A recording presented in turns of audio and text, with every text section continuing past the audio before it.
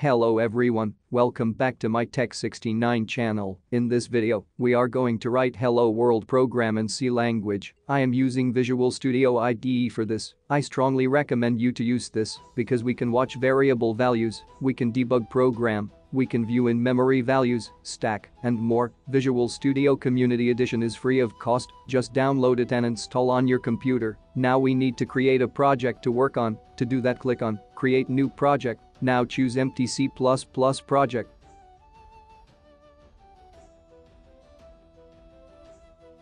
Now give your project a name.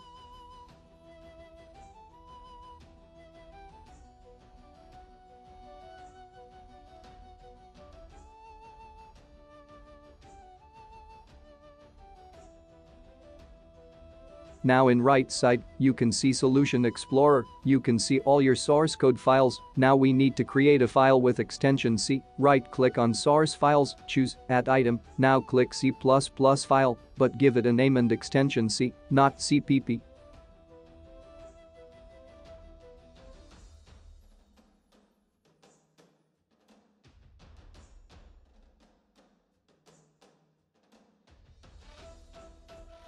Now let's write some code. First line we write is void main, here main is a function, a function here means is block.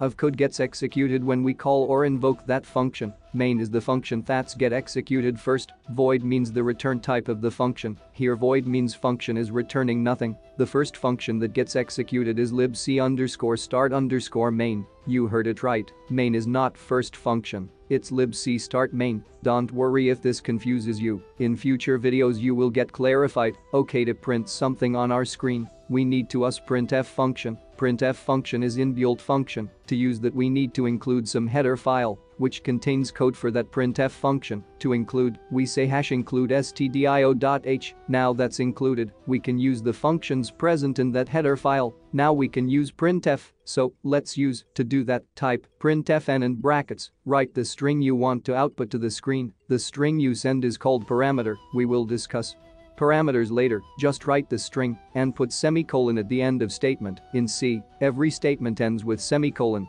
Now build the program, if any errors are present in our program, IDE tells us, now run the program.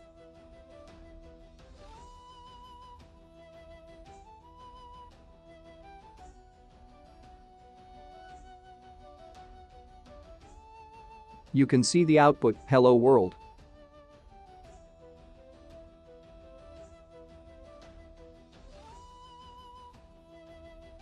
Thanks for watching, hit like and subscribe to my channel for more tech related videos.